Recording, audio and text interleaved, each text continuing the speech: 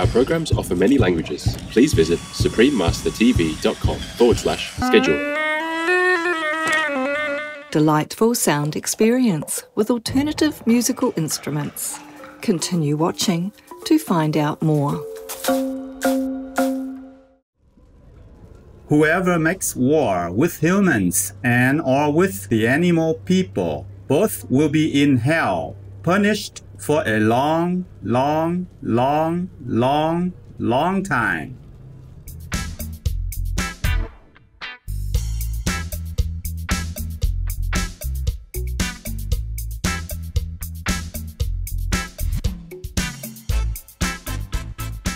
Melodious viewers, on beautiful St. Lucia, you can greet the locals by saying Kumunoye. It means how are you in St. Lucian Creole or Creole, a language spoken by most native people.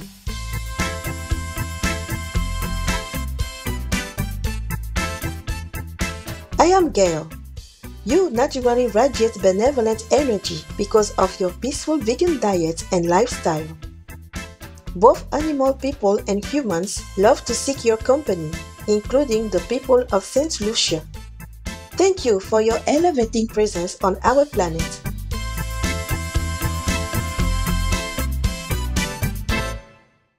Welcome to our show, Delightful Sound Experience with Alternative Musical Instruments.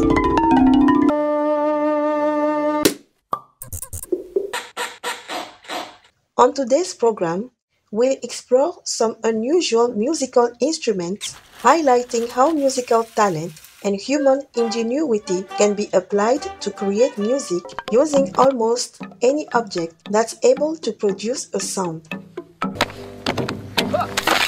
According to scholars who study prehistoric instruments, the first musical instruments created by humans might well have been lithophones or stone chimes. These primitive instruments have been found in almost every location where Stone Age people lived, from Africa to South America, Australia, Azerbaijan, England, Hawaii, Iceland, and India. Dr. Jean-Loup Ringot is an archaeologist and expert in prehistoric music. Let's watch him demonstrate how to play a lithophone.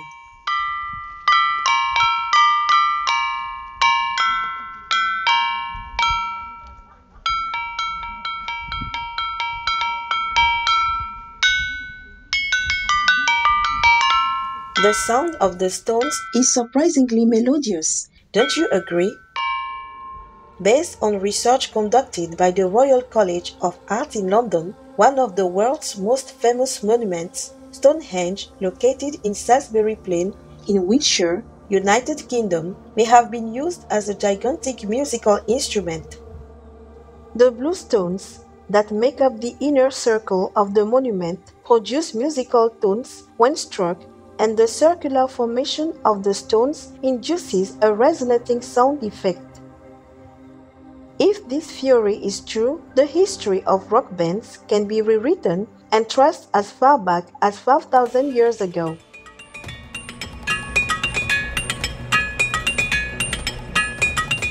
Joseph Richardson, a 19th century stonemason from Keswick Town in England, started to build a lithophone in 1827 and finished the instrument 13 years later.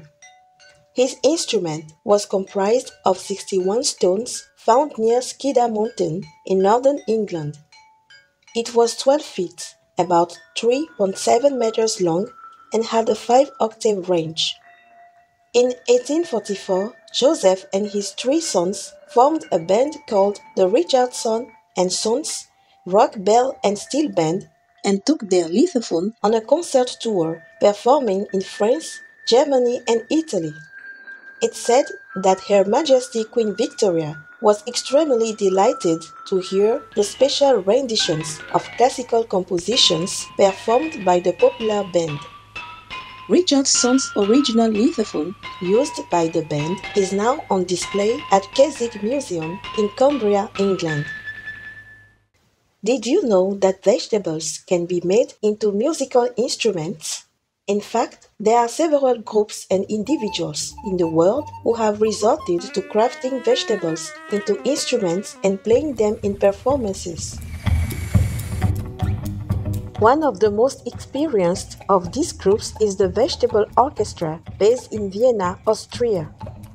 Founded in 1998, the orchestra's 11 members have performed with instruments like carrot flutes, pumpkin basses, leek violins, leek zucchini vibrators, cucumber phones, and celery bongos.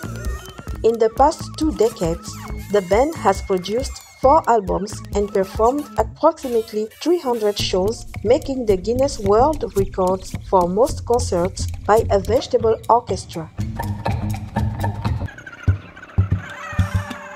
The Vienna Vegetable Orchestra has been invited to play on various occasions and at numerous venues, including London's Royal Albert Hall, the Shanghai Arts Center, and even at Sir Paul McCartney's 60th birthday.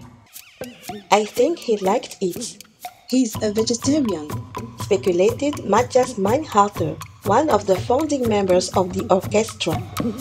Usually, after picking out the ideal vegetables at a supermarket, the band members busy themselves with fashioning them into the desired instruments using drills, knives, peelers, and scrapers. After performing for the public, the band cooks up a batch of fresh vegetable soup for the audience to enjoy. So far, the band has managed to invent more than 150 different types of instruments. For some of the members, one of the most interesting and satisfying aspects of the orchestra is that they get to discover new vegetables in different countries and make new instruments all the time.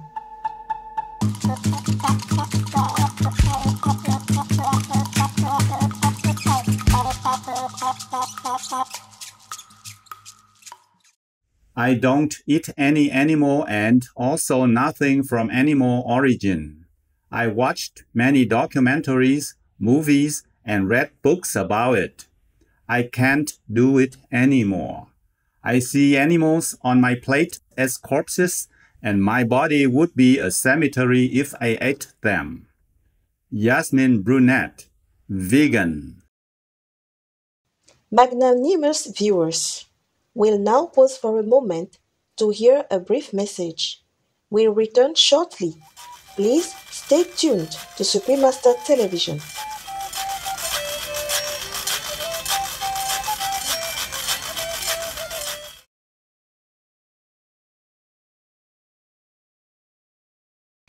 Welcome back to our show featuring unconventional musical instruments.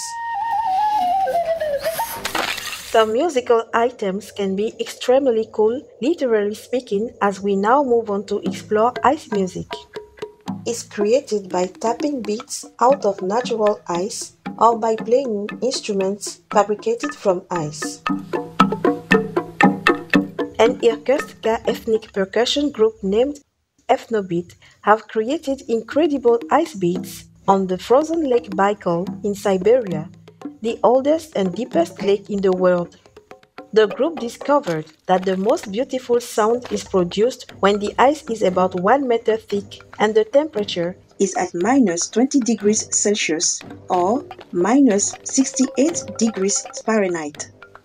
Since 2012, their percussion performance videos have gone viral on social media and entertained millions with enchanting ice music.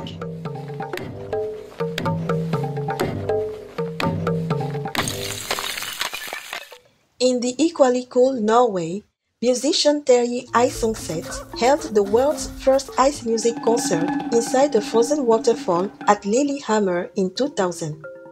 Since then, he has frequently paired with other musicians to hold ice concerts. To celebrate this special art form, in 2006, Terje created the annual Ice Music Festival Norway, which has been attracting an increasingly larger audience.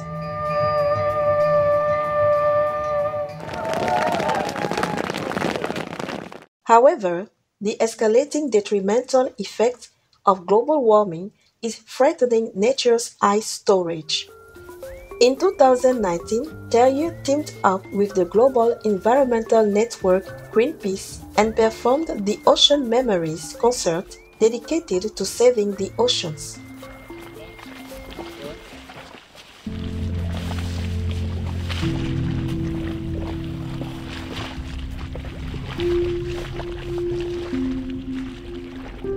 Maybe human beings don't see the problems with the ocean because it's not in our garden, to say so. So I think, um, in general, that it's very important that we treat uh, nature with respect and gentle. Um, also, the ice instruments we have to treat them very gentle, otherwise they break.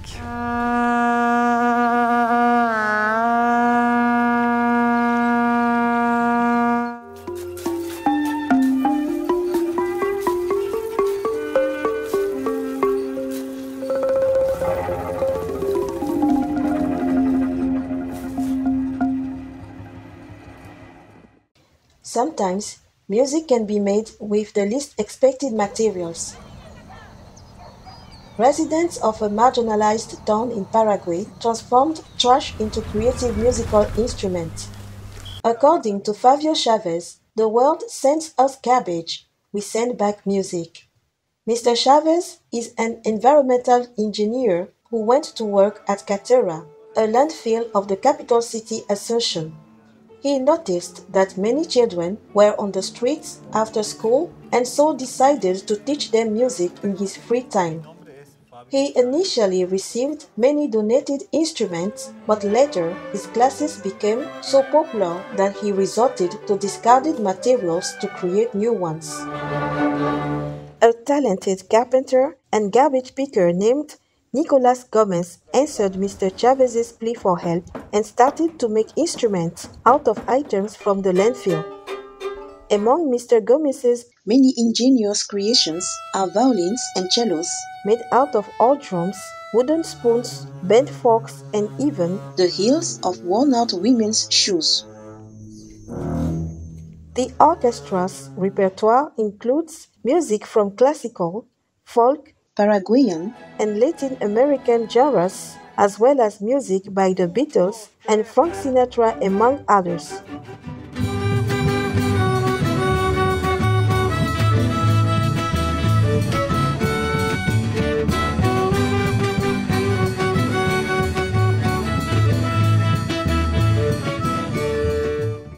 The recycled orchestra of Cateura gained international fame after a documentary was made about them in 2015 entitled Landfill Harmonic. The orchestra traveled to countries in Europe and the United States and performed for politicians and monarchs. They backed up the US heavy metal band Metallica and artists such as Stevie Wonder, the legendary vegan Grammy award winning singer songwriter.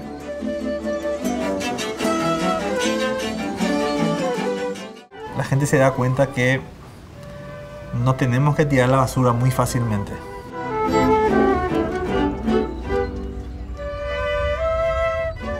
Y no tenemos que desechar a las personas muy fácilmente. It seems that the list is endless when it comes to materials for making musical instruments. Perhaps we can start looking around in our surroundings, even digging into our recycle bin and come up with new items of our own. Have fun! What you eat makes you sick. Turn to vegan now. Creative viewers, thank you for your company today. During delightful sound experience with alternative musical instruments. Up next is Ho Queen Hong, vegan, a superstar of the vegan world, part 1 of 2 right after noteworthy news. May your days be filled with good music, laughter, and happy hours with loved ones. Our programs offer many languages. Please visit suprememastertv.com forward slash schedule and suprememastertv.com forward slash AJAR. Nos programmes offrent plusieurs langues. Veuillez visiter suprememastertv.com baroblique schedule et suprememastertv.com baroblique AJAR. Nuestros programas ofrecen varios idiomas. Visiten suprememastertv.com barra inclinada schedule y suprememastertv.com barra inclinada AJAR. Nasze programy oferują wiele języków. Prosimy zobaczyć suprememastertv.com ukośnik schedule oraz suprememastertv.com ukośnik AJAR.